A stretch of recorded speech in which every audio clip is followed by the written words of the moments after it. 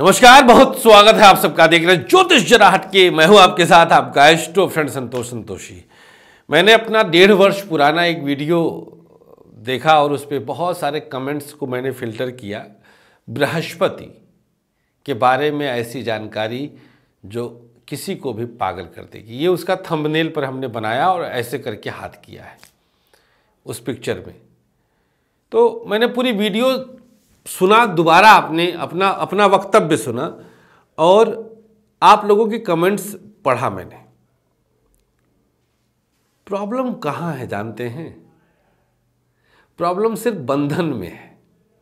हमने अपनी सोच को एक बंधन दे दिया, एक धारणा बना लिया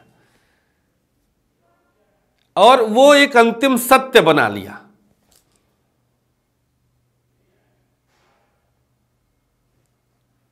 वो एक अंतिम सत्य बना लिया कि बस ये। जबकि इस पृथ्वी पर मृत्यु के अलावा कुछ भी सत्य है ही नहीं। एक ही सत्य है, वो है मृत्यु। शाश्वत नियम है। सच बता रहा हूँ, सोच बदलिए आप। प्रॉब्लम वहाँ है कि आपने बाँध लिया। ऐसे, पिता ऐसे, भाई ऐसे, बहन ऐसे, पत्नी ऐसे, पति ऐसे, आपने बाँध लिया। आपका एक दायरा है, वो सिर्फ़ आपका है इंडिविजुअल है। थोड़ी बहुत चीज़ें कॉमन होती है। गलत है, बांधिए मत। समझिए, हम एक अलग सूत्र अगर कुछ प्रतिपादित करते हैं, हमने एक अलग सूत्र बताया है तो यार हमने कुछ बताया है, हम हम देखे हैं, हम पाए हैं, तब बता रहे हैं ना।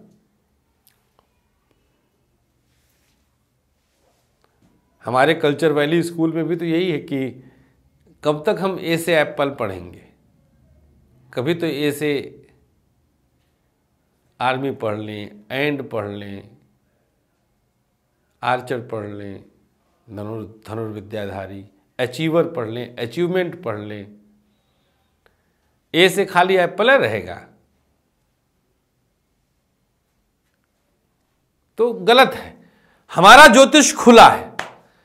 मैं जहाँ तक बताया हूँ, उसके आगे भी आप बता सकते हैं। हो सकता है आप में से कोई और हमसे भी आगे का सोच ले। हम स्वागत करेंगे ना।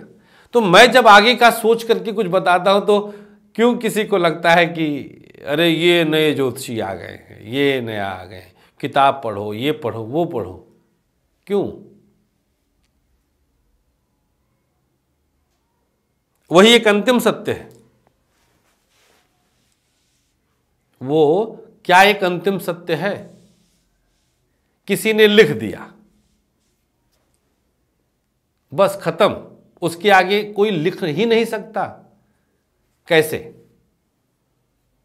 क्या पता हम लिख रहे हो उसके आगे? क्यों नहीं हो सकता है? प्रॉब्लम कहाँ है? क्यों बांधते हो अपने आप को ज्ञान की एक अंतिम सीमा पर? ज्ञान तो अनंत है। जैसे ईश्वर अनंत है, हरि अनंत, हरि कथा अनंता। तो बांधते क्यों हो भाई?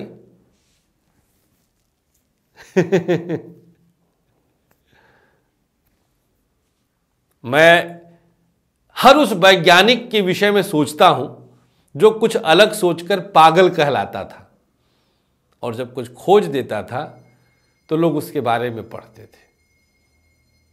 कोर्स की किताबों में छप जाता था। अलग करो ना कुछ। कुछ नया क्यों नहीं करते हो? किसने रोका है? हमें क्यों रोकते हो? ज़बरदस्ती। मैं दिखाऊँगा ना कि बृहस्पति ने सच में मृत्यु दिया है। बृहस्पति के कारण मृत्यु मिल सकती है। हर ग्रह मार सकता है। हर ग्रह मार्केश होता है। कौन सी बहुत बड़ी बात है? ज्ञान भी हर कोई देता है, लेकिन एक ज्ञान देने के लिए ही बना है, वो है बृहस्पति। ये अंतिम सत्य है। और मैंने उस वीडियो में कहा है कि ज्ञान हमें कब मिलता है? जब हम विपत्ति में आते हैं। तो बृहस्पति विपत्ति ज्ञान देने के लिए देता है, लेकिन दिया ना विपत्ति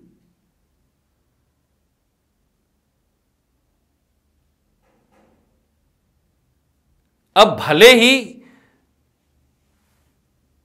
किसी ने किसी को हितार्थ मारा हो, लेकिन मारा ना। मारा तो कहलाएगा ही। और जो मारता है वो हत्यारा होता है। अब भले ही उसको जस्टिफाई किया जाए अलग अंदाज में तो मेरा ज्योतिष बहुत हटकर है। ये तो खैर एक अलग पार्ट का हमने बताया। शुक्र की दशा का फल आज हम बता रहे हैं। शुक्र अगर किसी की कुंडली में है, ये भी एक अलग पार्ट है, इसको भी मैं अलग एक वीडियो के रूप में भी मैं पब्लिश करवाऊँगा अलग से। शुक्र की दशा, किसी की भी कुंडली में शुक्र की दशा चल रही हो तो उसका एक मन 50-60 प्रतिशत एक पर्टिकुलर प्रभाव में चला जाएगा। एक पर्टिकुलर फिक्स नेचर में 50-60 प्रतिशत मन चला जाता है जब एक नए ग्रह की दशा आती है। जैसे मंगल खूब गुस्सा पैदा कर देता है, सूर्य बाप बना करके छोड़ता है, चंद्रमा के दशा में मातृत्व भाव जगता है,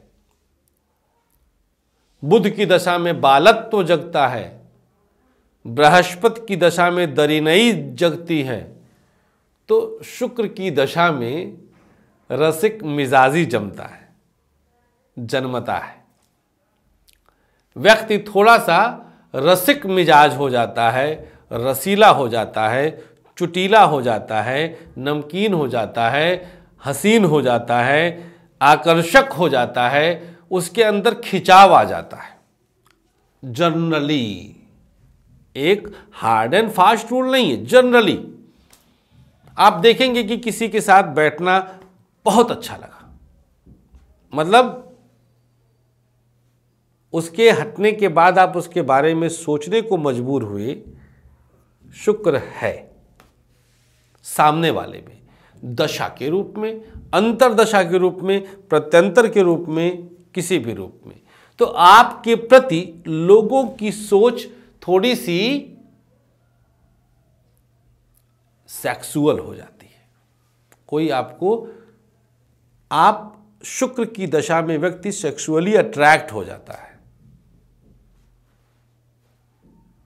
दोनों संदर्भ में आपको देखकर सामने वाला उस तरह का भाव पाले या किसी को देखकर आप वैसा भाव पाले। दोनों संदर्भों में शुक्र ही है। जो शुक्र शुक्र को अट्रैक्ट कर जाता है। शुक्र की दशा में व्यक्ति थोड़ा सा बाय नेचर खर्चीला हो जाता है। शुक्र की दशा में शुक्र अच्छा होने पर व्यक्ति ब्रांड कॉन्सियस हो जाता है। उसको ब्रांडेड चीज़ें अच्छी लगने लग जाती हैं। शुक्र की दशा में धन निवेश का विशेष लाभ मिलता है। शुक्र की दशा 20 साल की कुछ विशेष आपको युवा बना देती है। आपके अंदर किशोरावस्था जागृत हो जाता है। व्यक्ति एक्स्ट्रा मैरिटल अफेयर्स की तरफ़ डीपली अट्रैक्ट होता है शुक्र की दशा में। और अगर उसमें शनि और राहु आदि का प्रभाव होगा तो 100 परसेंट वो होना ही होना, फिर तो घटना घट जाती है। शुक्र अपना काम करता है, राहु शनि अपना काम करते हैं। मित्रों, कुंडली का विश्लेषण इतना अनिवार्य है जीवन में, जितना कि सांस लेना। भगवान कसम, अगर ज्योतिष से हम जानकारी ले लें तो जीवन इतना सुगम हो जाएगा कि व्यक्ति को ऐसे लगेगा कि जैसे वो बस इंजॉय कर रहा है लाइफ को। क्योंकि सब प्री प्लान्ड हो जाता है ना तो हम तैयारी करके चलते हैं। तो उसको दिक्कत कहाँ है? भाई कर्फ्यू लगने वाला है और आपने सामान घर में स्टोर कर लिया तो आप पर असर क्या पड़ रहा है? आराम से है। और जिसने नहीं स्टोर किया, जो प्लान्ड नहीं है, वो पीड़ित है, वो परेशान है। तो शुक्र बहुत प्लान्ड कर देता है। एक्स्ट्रा मेटल अफेयर्स की चांसेस बहुत ज़्यादा होते हैं।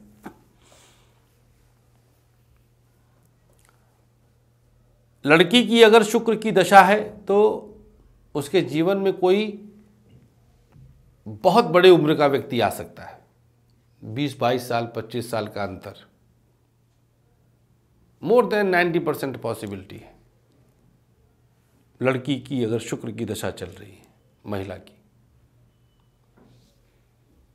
पुरुष के जन्मांक में शुक्र की दशा होने पर ऐसे ही बहुत बड़े उम्र की महिला के साथ संपर्क की संभावना बढ़ती है।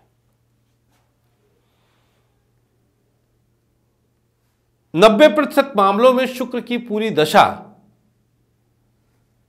फिफ्टी फिफ्टी लेकर के आती है। पचास मतलब दस साल बहुत बढ़िया दिखाती है, दस साल बहुत भावनात्मक रूप से तोड़ती भी है।